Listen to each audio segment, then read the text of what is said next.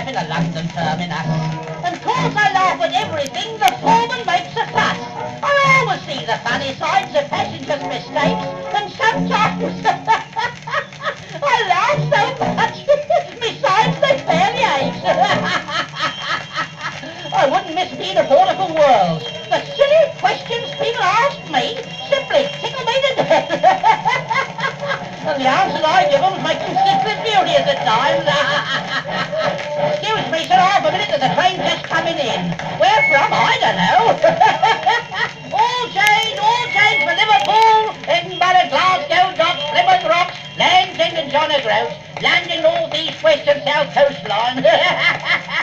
Big pardon, sir? Oh, yes, sir. Birmingham, number one platform, 345. Right for Plymouth, Miss, number one platform, 345. Yes, all right for Wigan and Dundee, number one platform, 345.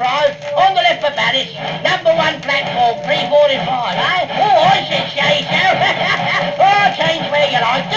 like. Going to Paris for a rescue? Right away.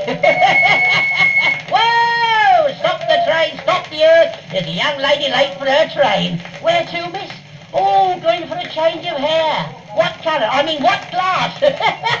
right you are, miss. Number one platform, 345. Water here and water there and water all over the shop. The